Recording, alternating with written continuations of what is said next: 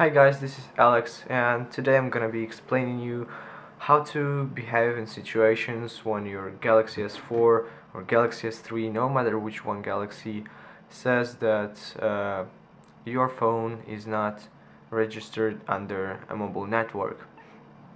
So a couple of days ago and yesterday I had the problem uh, with an unknown IMEI and when I was trying to type any number and call someone it was saying my mobile phone is not registered under the network.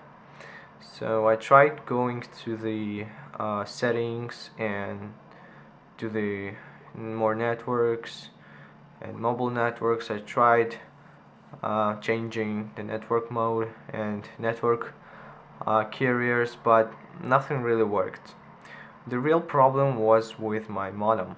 So I tried restoring my phone and this also didn't work. But when I get here, there should be a baseband version. Sometimes, in case you don't have it, you have to flash the correct version.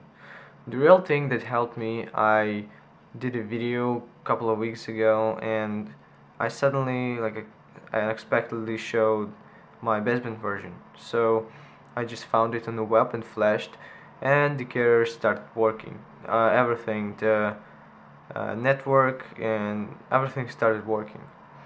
So sometimes guys uh, you just have to not restore your EFS folder but just flash a correct baseband and that's all. So if you have the same situation as I have you can uh, go to the website. I'll have it in the link down below for this and see your baseband version. If you don't know it, try fl flashing every each of them. Maybe you'll get uh, some uh, the correct one.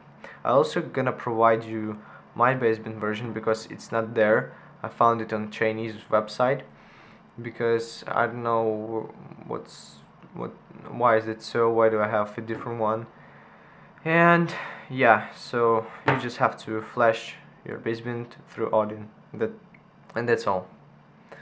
So yeah thank you guys for watching. I hope I help you somehow and please see my other videos and subscribe to my channel for the future updates.